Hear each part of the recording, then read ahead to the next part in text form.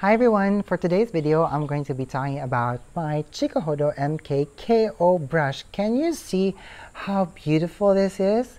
It's so pretty, right? Now before I continue talking about this brush, I would like to give a huge thanks to Fude Beauty because Fude Beauty sent this brush over to me. I was actually so shocked when I got this because um, I actually ordered something from Fude Beauty and when the package arrived at home, I thought that it was my order but it wasn't. So when I actually removed um, the packaging and when I opened it, it was actually this brush that I saw and I was so shocked, like my jaw dropped to the floor and I was like, is this some kind of a mistake or something like that? But um, no, it wasn't. And actually, Fude Beauty sent this over to me. So thank you again Fude Beauty. I feel the love. Domo arigato. I'm going to try my very best not to make this video lengthy because there's so much to unpack um, with this brush. And I'm also planning to compare this to my two other brushes from the Maki-e series that I have in my possession. So that's going to be a little bit later in the video. So if you're guys interested in seeing um, the Chikuhodo MKKO being compared to the Ume and the cherry blossom powder brush. I'm gonna put a, a timestamp here so that you guys can just hop over to that part of the video. The Chikuhodo MKKO powder brush actually came in a gold box like this. I love it when it comes in a box like this. It's make, it makes it much more special. And of course, you also have the Kumano Fude seal and pamphlets from Chikuhodo about the brush. The Chikuhodo MKKO brush is actually a full head of gray squirrel. It's very soft it's also quite dense and the brush head design is actually rounded. You can actually feel how dense this brush head is by touching it here. And if you observe the brush, it actually doesn't flare out much. So this is actually a good brush to use if you want to apply a much more precise color on the cheek. And because this brush is quite dense and because it has some strength and resilience because of the density here at the base, it can actually have the ability of actually blending the color well into the cheek. So let's try that out. Okay, so I just want to do like a portion on my cheek. So what I'm going to do first is I'm going to apply a layer of foundation so that we just have a nice even area on the face. I'm going to get my Chikuhodo Ume powder brush and with my pressed powder here I'm just going to set that part of my face so that we have an even texture. One thing that I appreciate about this brush is not only because of its shape but because of its airy nature. I am able to use this brush for highly pigmented blushes that those blushes that you know upon first impact it delivers like a very strong wash of color and sometimes with the pigmentation it's actually quite difficult to blend them out so using this brush actually helps me to pick up the right amount of color from the pan and then to apply it on the cheeks and also to layer it to the intensity that I want. For example, I have here my NARS Orgasm X blush. Now this blush is quite notorious in my opinion anyway to be like full impact of color. And I actually loaded the color here at the very tip of the brush.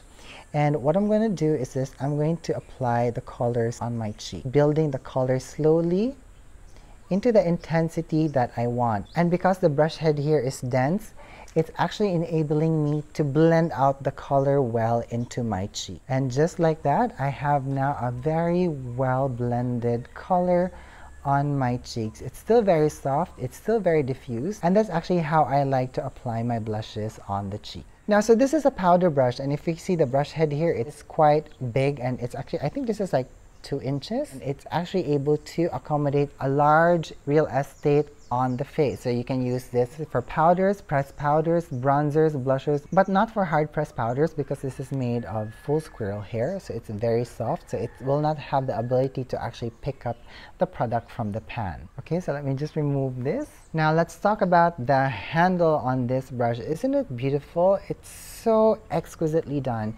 And as you can see here, it has like two tones of pink and it's actually like, you know, lacquered to a matte finish. But I'm just so glad that it has some sheen and shine on the handle because it gives it a much more nicer dimension and life. Um, as you guys can see here, the artwork, it's actually that of a koi. So there are like three koi fishes here. And um, the artist who made this artwork design is actually named Hideki Kimura. And I was so intrigued on who he was. And luckily for me, on the description for this brush on fudebeauty.com, there's actually a link there to Hideki Kimura's uh, website. So I was so intrigued. I clicked on it and I perused his website and I was so surprised on how well celebrated he actually was. Now, He's an amazing artist. He does paintings, he does murals, he does package design. He even made like the front cover of the Michelin Guide in 2018 for was it Kyoto and Osaka and Tottori area? I'm just not too sure because I just perused through his website very, very fast. And, you know, it was, his work is simply amazing. And I actually saw there, like, I think his trademark is that he actually likes to outline his artwork with gold paint and then he fills in the outline with the color that he wants or he works with the color of the background or of the surface that he's actually painting on. So that's actually quite evident here on the artwork. So that's actually incredibly amazing and that's also the main reason why this brush retails for $185 because not only do you have a full head of gray squirrel here, but Chikuhodo is also paying for the copyright to use his artwork on the handles of these brushes. Now, if you are a Fude lover and you've been wondering for the longest time why there is a fish design on this brush handle, because truthfully, um, this is a very different brush handle design um, from the Maki-e series of Chikuhodo because all of the other brushes on the Maki-e series of Chikuhodo have flower designs on it. It is only this brush that differs from that. And if you've been wondering what's the significance of this, I'll tell you why. Now, firstly, from April 28 to May 5, there's this celebration in Japan called Golden Week. And this is the time wherein there are a series of bank holidays and national holidays right beside each other up until like I think it reaches the weekend and then it's also celebrated two days after the weekend. So this is when all of Japan goes on vacation. So as a side note, if you're planning to go to Japan at this time of the year in the future, try to avoid doing it, reschedule because um, most of the spots in Japan are going to be closed and everything is going to be much more expensive because this is considered the high season.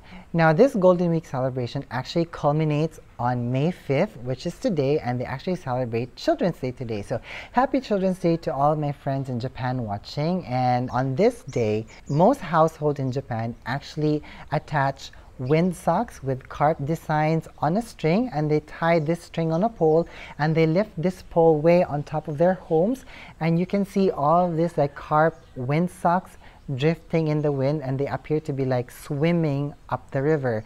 And the significance of actually having these wind socks um, actually stems from a Chinese legend which actually um, encompasses Children's Day in Japan. So the story goes like this. There was actually a school of golden koi swimming up the Yellow River in China.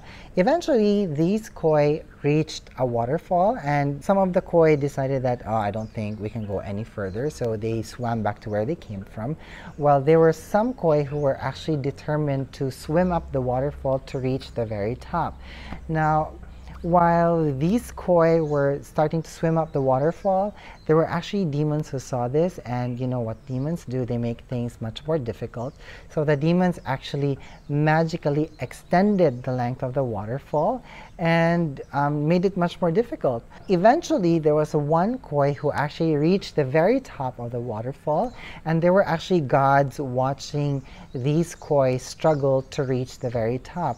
And what the gods did is that they actually blessed this golden koi, this single golden koi who was able to reach the very top and turned him or her into a golden dragon. And you know he, flew to heaven i think something like that. So this legend is actually the heart of this celebration because you know as parents they want their children to be very determined and to be very courageous and you know to be able to swim through life and to go through its struggles. So they can become their very best. And this is actually what this celebration is all about now, the other significance is that the word koi is actually a homophone for love and affection. So this is also the other romantic side to that word. And lastly, the koi is actually a very beloved animal in Japan. They are bred and they are sold worldwide. And um, the main reason for this is because there are some people who actually believe that the koi brings in good luck, prosperity, and um, good fortune. And speaking of good fortune, do you know that the most expensive koi ever sold was at $1.8 million? So can you imagine how prosperous the owner of that koi become. So if you are someone who's into these things, like you know, you, you appreciate symbolism, you appreciate stories and legends, having a brush like this at your disposal and to use every day is actually a good talisman just for like, you know, good luck, prosperity, determination, also for love and affection. Speaking of luck, now that I have my Chikuhodo MKKO brush with me, this completes my trifecta of Maki-e brushes from Chikuhodo. Now these are the three brushes that are currently in production um, from the Maki-e series and I'm gonna compare these together. So I'm going to flip my camera over because it's just going to be much more easier to talk and to compare about these brushes that way. Alright, so these are my three brushes from the Maki-e line of Chikuhodo and now that they're side by side, can you guys see how exquisitely beautiful they are? I mean, they're so special, not only because we have like full gray squirrel hairs here on the brush head, but take a look at the handles. Can you imagine? These are all handmade and this is like in the Maki-e lacquering technique, so it's very intricate and very time consuming. So if you're someone like me who doesn't have a collection of powder brushes yet, you know, this is a great way of actually adding them to your collection. Now, I'm going to compare these three briefly so that we just can see the difference. So this is the Chikuhodo MKUM Plum Brush. Now, I did a review on this. I'm going to leave a link down in the description box so that you guys can see it. Now, um, if you are going to go check that out, I would like to give my apology because I wrongly described this golden orb in the handle as a golden moon which I realized days after I made the video that this is actually the sun because in Japanese art the moon is always um, colored silver. So again I apologize for that. So um, yeah so yeah so this is the plum brush. Now of course what we have here in the middle is the star of the video, the Koi brush, the MKKO brush. And then what we have here on the side, this very beautiful brush as well, is the MK2 or the Cherry Blossom Powder Brush. So first, I would like to compare the plum brush to the koi brush and if we just put them side by side you can instantly see that the bristles on the koi um, brush is longer than the plum brush. And then although this is the case, they're both dense, but, uh, but the koi brush is actually denser. If you feel it here at the base, you can actually feel how dense this brush head is. In comparison to the plum brush, this one is not so dense. But even if their density levels are quite different, they are both very airy. So this, these two will apply a very diffused amount of color on the face. Now, um, the main difference also is that if we just tilt it over, so we can also see that the brush head design is very different. The plum brush here is actually more oval, while the koi brush here is actually much more circular. All right, so now let's compare the koi to the cherry blossom powder brush.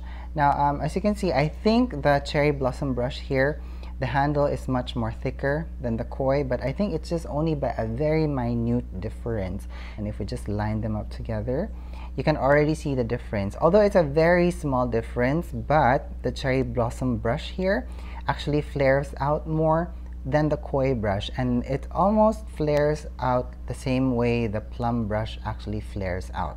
And the cherry blossom brush kind of has like a paddle like design while this one doesn't. Again it's more erect. So if we just again put them up we can see that the cherry blossom powder brush is again much more oval which is the same as that of the plum brush here while the koi brush is actually more round so this is the main difference of the koi brush. The brush head is round. Um, the main reason why I wanted to get the koi brush is because um, while I was actually checking this out on the internet, I wanted to designate this as a brush that I would use for blushes. Alright, so I actually want to show you guys how these three different brush heads apply color. Now I'm not going to do it on my face, I'm going to do it on my arm and we have the aid here of my Sailor Moon Color Pop Blush this is a matte color, so that's gonna be very good to use. And I have my arm here, so I actually added some foundation and powder so that we just have an even surface to apply the color.